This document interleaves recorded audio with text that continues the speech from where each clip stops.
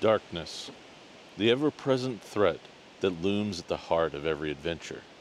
This can be a very literal, very real darkness in games like Shadowdark, or this can be something very metaphorical. In some stories, like in Lord of the Rings, darkness is a threat that looms behind the characters' choices, behind every step they take on their journeys. But what is darkness in your game? So today, I finally remembered to grab my Mazes book, and we're going to talk about the darkness mechanic in this game. Let's dive in. Greetings and welcome to Elder Goblin Games, the Universalist TTRPG channel where the DCs are made up and the stats don't matter. I'm just going to go ahead and apologize for the potential audio kerfuffle because of the wind today. This is my one day to shoot, and I can't really do anything about this. Darkness takes many forms at our table, but how prevalent is it in your role playing games? Maybe you're playing a game like 5e and everyone has dark vision, or some way to deal with the darkness like the light spell. But I want to talk about a way to use this idea of darkness that goes beyond timers and torches. I'm talking about darkness as an ever present and real threat to the party. So, before we can talk about the mechanical benefit of darkness in this book, we have to talk a little bit about mazes. In mazes, you play as one of four possible roles the Paragon, the Vanguard, the Fighter, or the Sentinel. And depending on which role you choose, that decides what dice you roll for everything. Whether that's books, boots, blades, or bones, you are rolling that die. So let's say, for example, you're playing a Vanguard. You're the d6. You roll a d6 for books, boots, blades, or bones, and you also roll a d6 whenever you deal damage. Now, because in mazes you are focused on trying to hit very specific numbers on the die, those are your target numbers for the different kinds of skills. That means there are certain dice that are more naturally able to hit those specific target numbers. Here's the chart represented in the book, just so you can get an idea of what I'm talking about here. There are also two other important resolution mechanics in mazes. If you roll a key, which is the lowest number on your die, or if you roll a crown, the highest number on that die. Now, most of the time, a crown is an auto success, and a key is an auto success based on the background, edges, and things like that that you choose in character creation. However, the crown result in this game is fickle and is ever changing depending on the level of darkness. If things are bright, a crown is an auto success for you, but if things are bleak, that is going to be a failure. So the idea here is that the GM, or as it's called in this game, the maze controller, has a natural dial to turn up or down to change the difficulty in any scenario. This makes darkness a very real presence in your game. Let's take a look at the section in the book that talks about things that can raise the level of darkness. So without further ado, let's crack this bad boy open and see what it says about darkness. Gathering darkness. Throughout the adventure, a party will generate darkness, which is both a resource for the MC and a signpost to the players of how dangerous the current situation has become. You can track darkness with a D12, a play aid, or tokens, but darkness should be visible to all the players. The MC uses the darkness level as an aid to telling the story and as a pacing mechanism.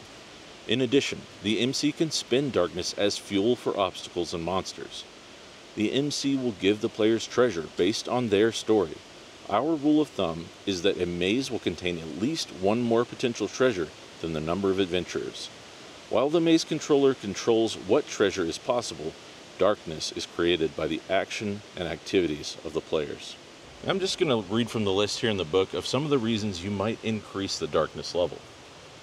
Darkness is generated by the following activities of the players finding treasure, hazardous encounters, entering the darkness or dungeon, splitting the party, time passing, ignoring danger, or flashbacks.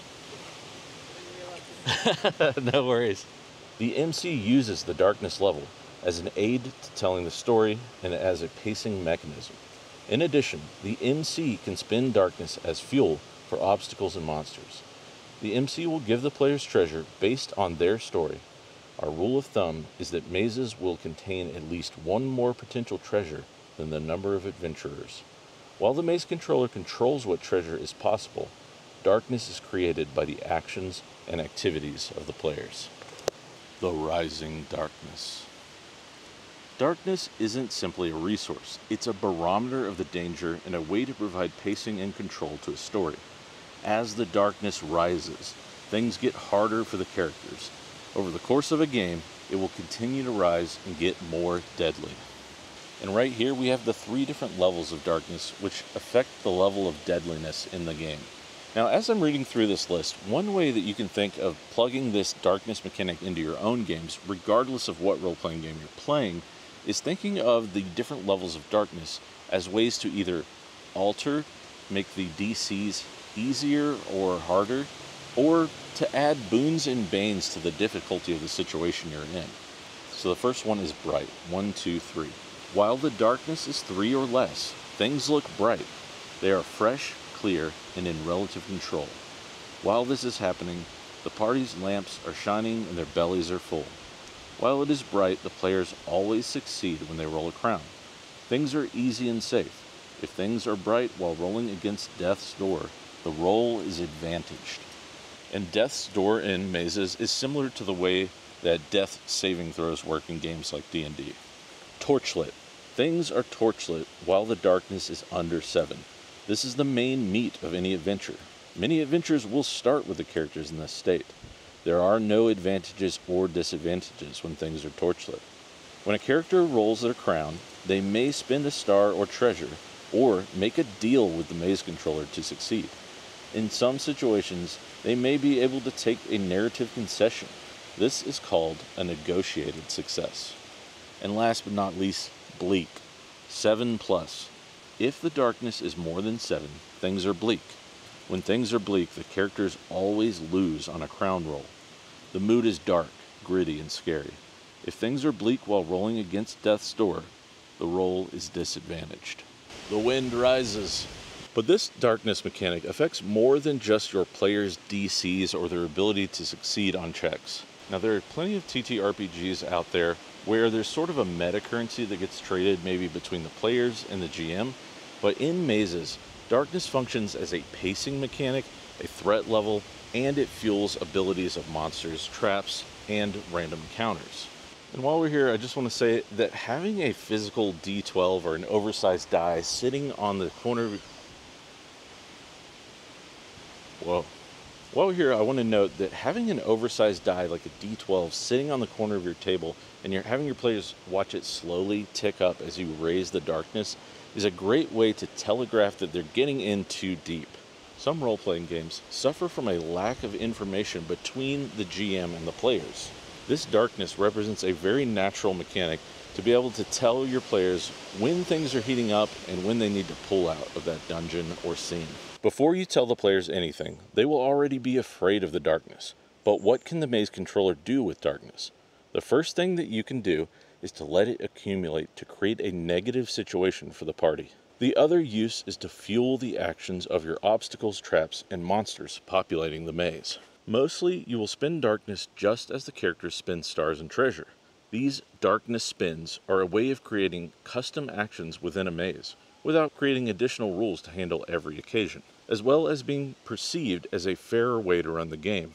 When you spend darkness for player facing activities, it accomplishes three positive goals. One, it signals to the players that they are succeeding because you have to spend a resource to stop them. Two, it helps to reinforce the idea that darkness is something they should fear. And finally, even though you are throwing gas on the torches and shooting poison darts at them, it feels fairer than just an outright, because I said so. Remember, whenever you introduce a hazard to the players, take a darkness. The rest of the darkness will be generated by the characters getting themselves into tight spots. Use the darkness as a guide to what happens in a scene but also use it to power your hazards. You can spend a darkness to affect the world of the players outside of hazards as well. When the chips are down against the bad guys, you can spend a darkness to refill a hazard's hearts.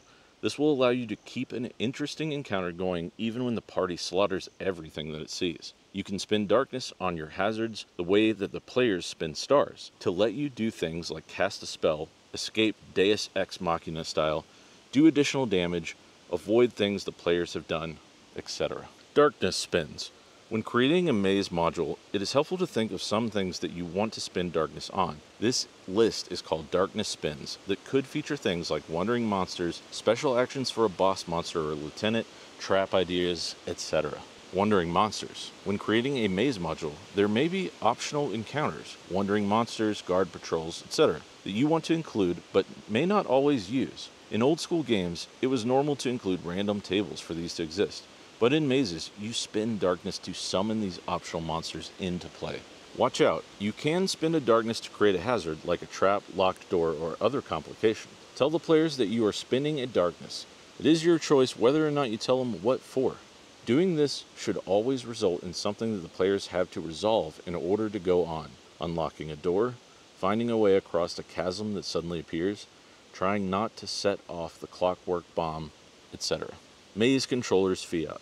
Sometimes you just need something to happen to keep a story going. You can spend a darkness, similar to players giving you a darkness for a flashback, for a fiat.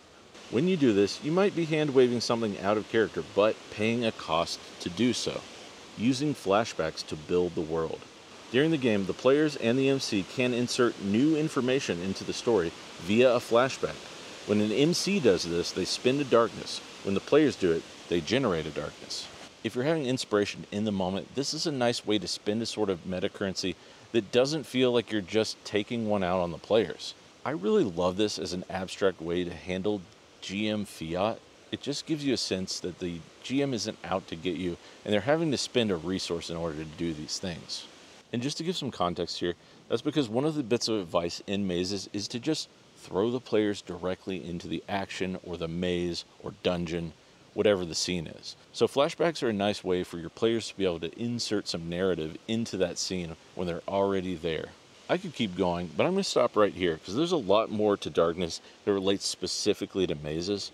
And I want this to be a more general video about things that are really cool from mazes that you could take and put into your game and just to highlight that darkness mechanic. Okay, well, this video is already getting long. I don't know if any of this audio is even going to be usable, and I've got to go. So that's probably it for me today. I got to get out of here before the wind blows a tree down on my head. Thanks for watching. If you like what I do, please like and subscribe. Leave a comment about a way that you think darkness could be used in your game, or hey, if you're out there playing mazes, let me know about it. I want to hear about your mazes game. If you like the sound of mazes, go check out Ninth Level Games. They've got some really great and innovative TTRPGs and some really interesting things going on. Again, I'm not sponsored in any way. I just really like this book. Thanks for watching, and as always, make mistakes, choose chaos, and bring a torch. Have fun.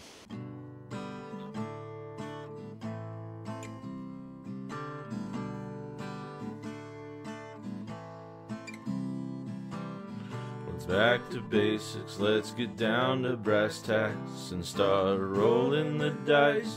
We need some practical facts, no more theory crafting or lofty abstracts. I need a concrete solution, a foregone conclusion, back to basics. We're back to basics.